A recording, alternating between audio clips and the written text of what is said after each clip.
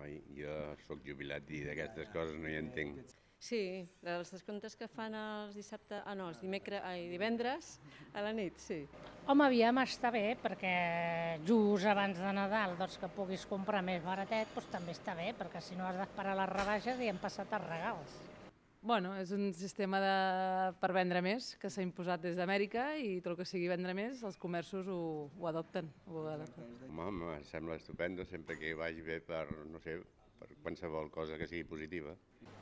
Bueno, pues bueno, és una, bueno, és una bona alternativa per, per, per mobilitzar la gent i perquè la gent vagi als comerços.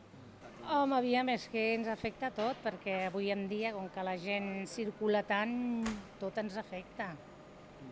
És com que ens deixem imbuir per, per la cultura mm, manipuladora de, dels grans.